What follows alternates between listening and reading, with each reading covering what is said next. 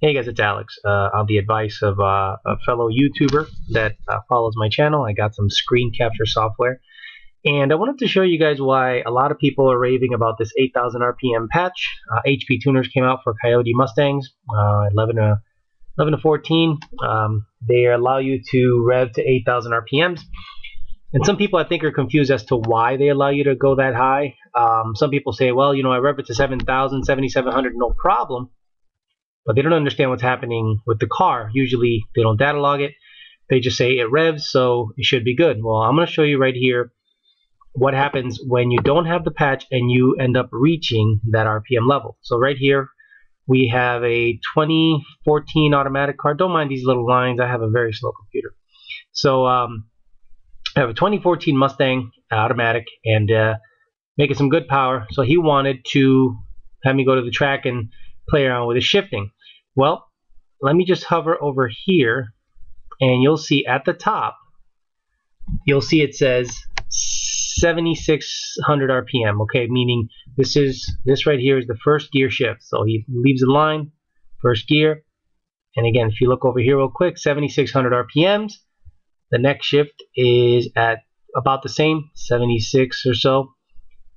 And uh, let's move everything over so we can see third gear, about 76. So I have it set to shift at about 76, 70, high 76s. Anything above that, you'll see what happens. So why is the patch important? Okay, well again, let's go back to the first gear shift and let's look at what the cams are doing. Boom, boom. You see that wig out right here? This major wig out. Let's get rid of RPM just so you see what I'm talking about.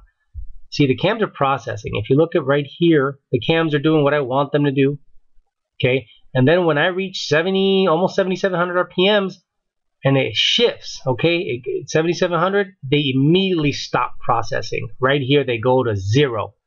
Means they're not doing what I'm, I'm commanding them to do this. You know, I'm commanding them to do this, you know, uh, 13.6, this and that. But they go to zero on the RPM shift. What the patch allows you to do is it allows the cams to keep processing all the way up to 8,000 RPMs. So by the time he shifted, about a second passed before they the cam started to do anything else. See right here? They started to do what I want them to do. The cam started to process, do what I want them to do. Notice that on the 2 to 3 shift, they're fine because I commanded it a little lower. 3 to 4 shift, they're fine. And you know the converter locks up here and it rings out forth through the end. But they're doing what I want them to do here.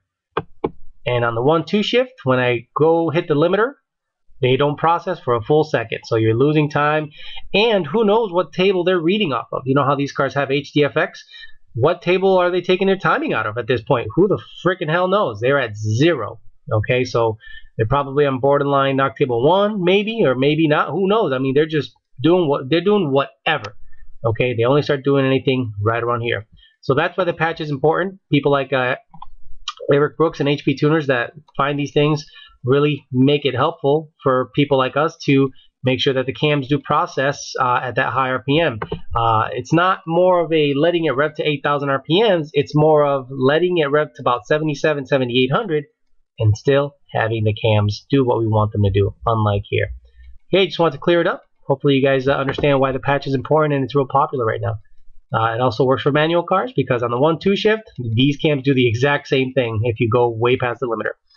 Alright guys, I'll be bringing more videos out with this screen capture junk because it's pretty cool. So uh, thank you for watching.